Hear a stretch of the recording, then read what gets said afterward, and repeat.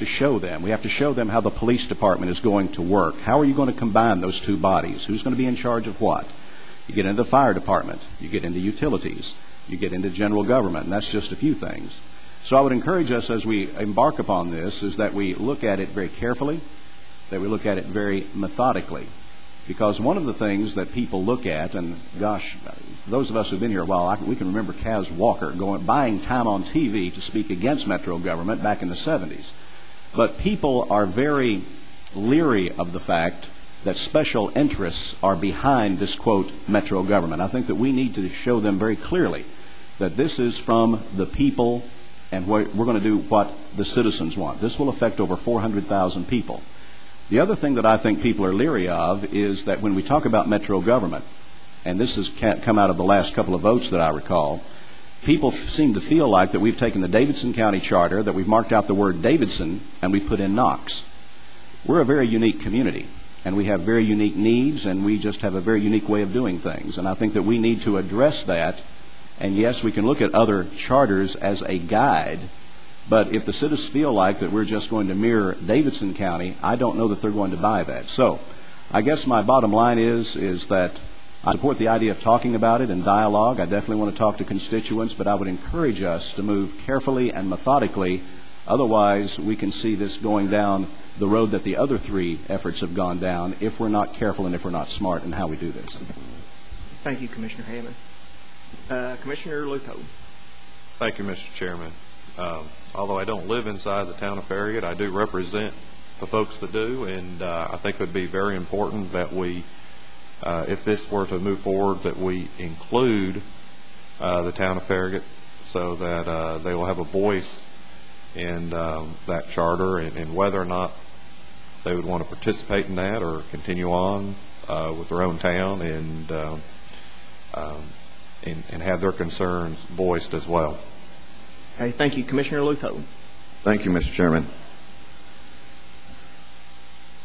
I served on as a county representative under, under the unification charter provision, not the metro one. You have to remember that provision was passed into law basic for Knox County because they didn't find the metropolitan one sufficient. So that was the general state law. That's the one we attempted last time. But my main comment here is that the time limits, once you start this clock and moving, you think that nine months or so, and I think that's about the same on the unification one too, is a long time. In fact, it was a very short time.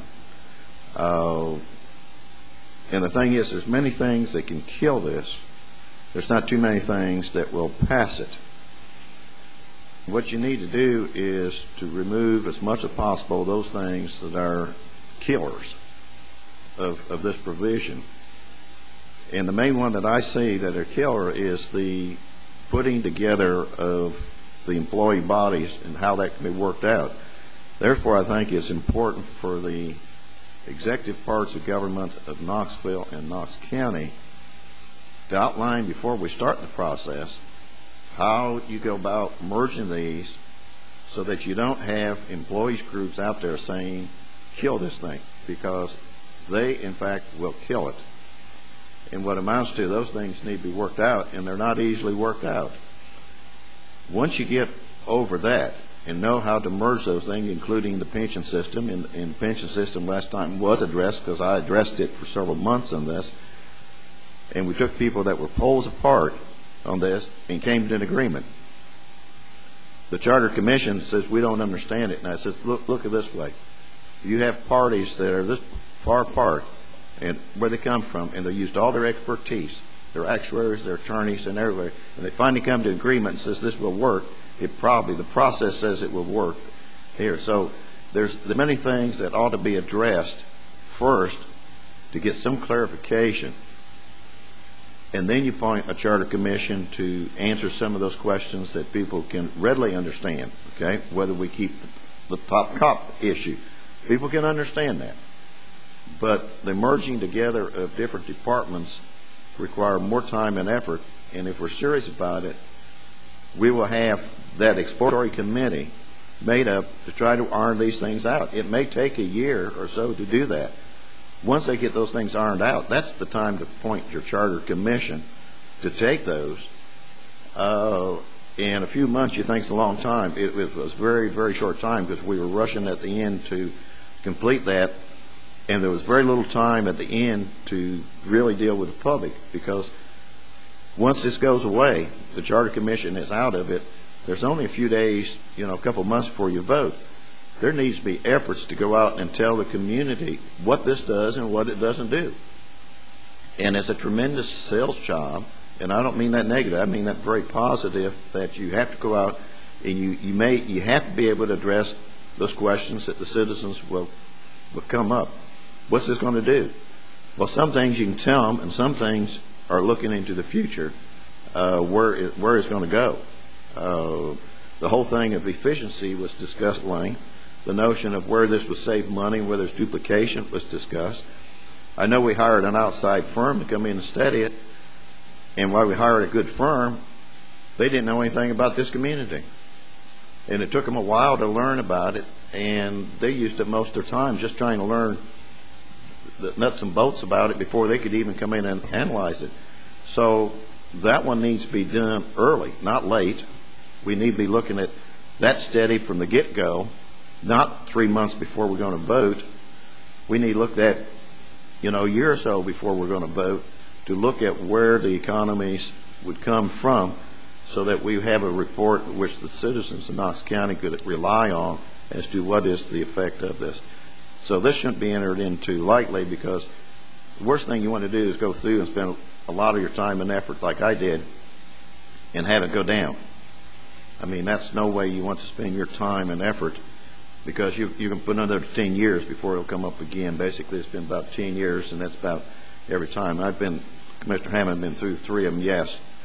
Uh, yes, there is sparring, and you will have that, but it can be done, but there's a lot of legwork that needs to be done first before we vote on the Charter Commission. That should be after we've ironed it out. Then we appoint a Charter Commission of members because they have definite deadlines.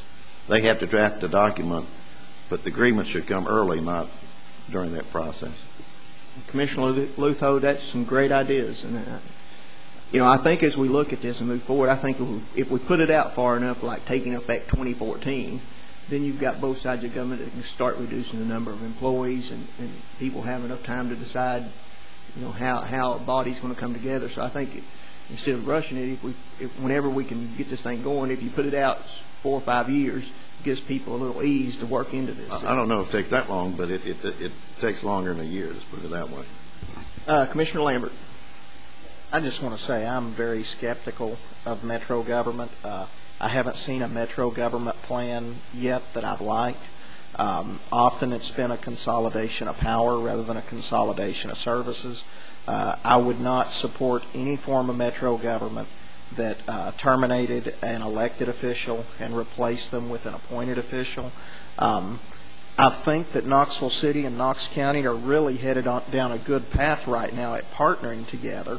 Uh, we're getting our codes together. Uh, we're uh, um, you know, we're we're really working well together. And uh, and what I don't want to see is I don't want to see talk of metro government to disrupt that. I think that there's certain things that as a separate sovereign city and separate sovereign county government that we can work together on, and then there's some things that we can uh, keep separate.